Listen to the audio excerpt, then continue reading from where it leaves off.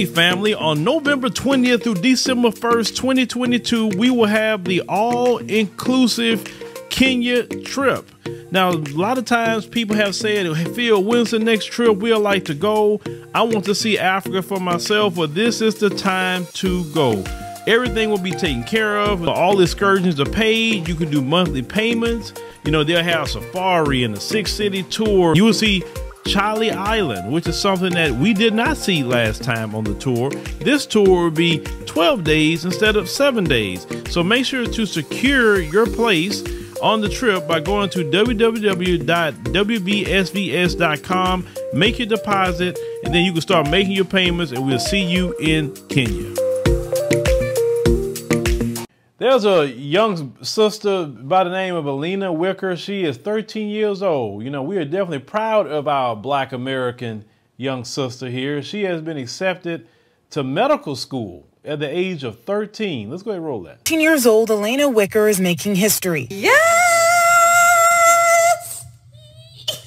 So she has officially been accepted into the University of Alabama Heersink School of Medicine at 13 years old. Learning she was accepted to medical school, the youngest black person to ever do so. I really want to leave my mark on the world and leave the a group of girls that know what they can do. We first interviewed Alena last year when she got accepted to Arizona State University's engineering program at 12 years old. After that, she quickly made national headlines with dreams of working for NASA. I always like dreamed of being an engineer because throughout my life, I like building. But in a year, things have changed. It actually took one class in engineering for me to say this is this is kind of not where I wanted to go. She found a new passion in biology. That class was amazing. You did it. She now wants to be Dr. Alena Wicker, MD, instead hoping to become a viral immunologist, a doctor that studies viruses. I think the viral immunology really came from my passion for volunteering and going out there engaging with the world. She says she was inspired by a trip to Jordan and her efforts to get more girls of color interested in STEM as the brown STEM girl. We can find cures for these viruses. In just one year, Alena has already finished two and a half years of college by taking a full course load at ASU and Oakwood University in Alabama. She attends class virtually from her home state of Texas, then flies in for her lab courses. She makes it sound easy. It's really just keeping on top of your work. Showing the next generation they can do anything. I want to inspire the girls.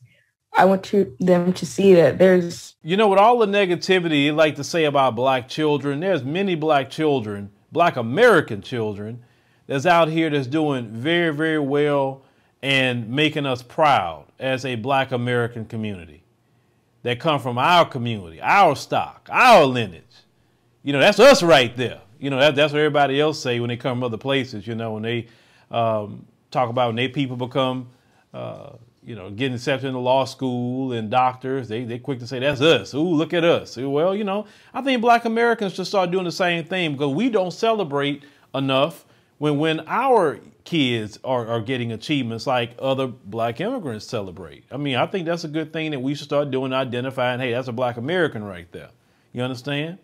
Um, but one thing that I heard in this story that, that piqued my ear is that the little girl got inspired when she went on a trip to Jordan, and say with you know her family.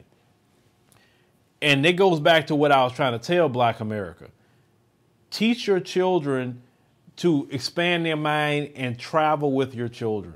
Travel. They need to go see different countries, different ways of living.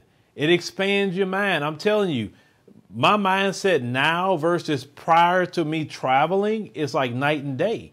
Because first of all, you learn the world doesn't revolve around you and what you got going on, first and foremost. Two, there's other ways of living. Three, it may be some things from other cultures that you appreciate versus maybe where you live now and may want to even implement certain things from different cultures. Right? Every country I've been to, I've learned, I appreciate the countries I've been to, all of them, and what I've learned. You know, because I mean, I've been to too many countries. You know, I've been to Mexico. One thing that impressed me about Mexico was the level of service. You know, service was crazy in Mexico. It's like, you know, and I went way before the violence got started, though. You know, I went early 2000s. That's the last time I've been in Mexico, right? But I was just impressed how you barely you barely your drink get down. They right there to replace it. You ain't got to go looking for them. Here in America, you got to be calling people to replace your drink for something, right? You know, the food was inexpensive. Spending three dollars at the time and getting big plates of you know huge meals. You know, when I went to um, Ethiopia, you know, 2018. Of course, you know, my first time going to the motherland, enjoying the culture. I loved Ethiopian food. I still love Ethiopian food to this day. Love it. Can't get enough of it. Shout out to Ethiopia. That was a country that opened the door to say, come on in, and to invite us into the, uh, the African continent. And I always will appreciate Ethiopia for that and the reception I received from the brothers and sisters in Ethiopia. You know, when I went to Kenya, you know, same thing. Beautiful country, beautiful people, which we will be going back to Kenya in November. Make sure you sign up for that. Last time I checked, there was eight spots left. Jump on that. It's going to be pretty good. I want y'all to miss that. Take that break from Babylon. You need it, ladies and gentlemen. You know, I learned things in Kenya. You know, when I went to Turkey, you know, at least went twice to Turkey, right? You know, my little girl came with me the second time around. And she learned a lot of things with her being in Turkey, just doing international trips and, and things like that. So that that was good, like I said, for my little girl, you know, to go to Turkey, right? Um, we went to South Africa as well. You know, at least, well, my family didn't, at least I did, which I will be taking to South Africa next year. Uh, that'd just be a family trip because we we definitely looking at South Africa for our second address. That's what I'm really looking at. I mean, I really fell in love with South Africa a lot uh, when I went there, and um, you know, expand your kids' minds, folks, because you don't know what could inspire them while they're traveling and seeing different things. And don't say what you can't afford because save your money. Because I see black folks at every restaurant, definitely here in Houston, expensive restaurants. You got them Gucci belts on, you're walking around with Louis Vuitton, you're driving Mercedes, you're driving Lexus, you're driving all kind of nice things. You look fly. And, and so if you look fly, that means you can afford some plane tickets to fly too.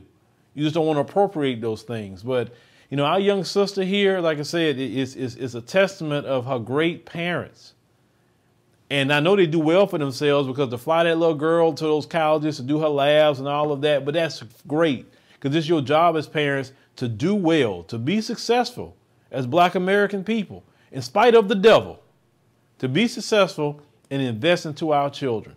So our children could, could be our future. But you know, shout out to our young sister. Like I said, you you make us proud. You make us very, very proud. Um, but yeah, leave me a comment. Then just think about you know our young sister here, ladies and gentlemen, and you know, inspire your children too. Travel. Travel is my thing. Travel, travel, travel. Because I know next year we start doing more channel. We're going to start a whole new travel channel. That's how much traveling we plan on doing next year. Um, so make sure so we get ready for that because we need more black people out there traveling. Is it hard to access affordable, healthy food? Then listen carefully. Daryl Addison, an African American inventor, has patented a process for growing food on demand. He called it Torpedo Pot. Torpedo Pot is a fully automated flower pot that gives you control over your plant's environment. All you do is add soil, seeds, and plants to the flower pot and watch it grow. Yes, Torpedo Pot grows the rest.